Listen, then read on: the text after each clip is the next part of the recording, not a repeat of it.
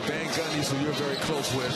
Um, it, it, just really is. It was. There's no reason why it took this long, but obviously he's now kind of focused on the now, and we're happy for him. It's great for the league. It's great for the game, and it's great for the national college basketball landscape.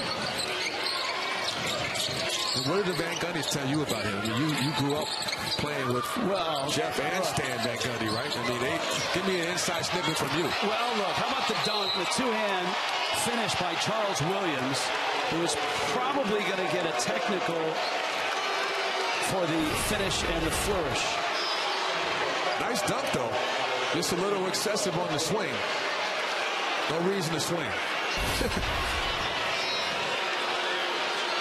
Well, sometimes you, you get a, a, chance in the spotlight. You want to, to finish and put an exclamation point on it. Well, Williams has played well. I mean, he's he's a big-time player. He's going to score a lot of points in the MEAC, no question about it. He's long, he's athletic, he's a pure shooter.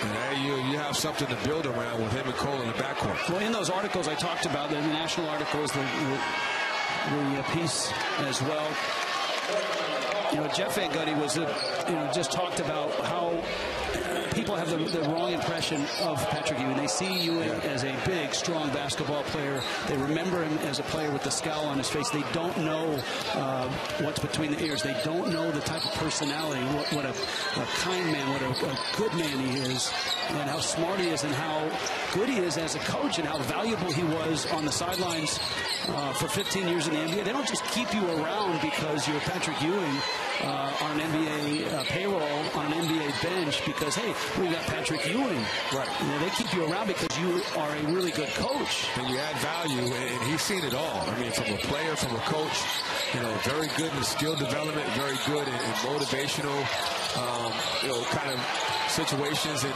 well, he left Williams open again, and he hits a three. And right now, that can't make Patrick Ewing all happy. What a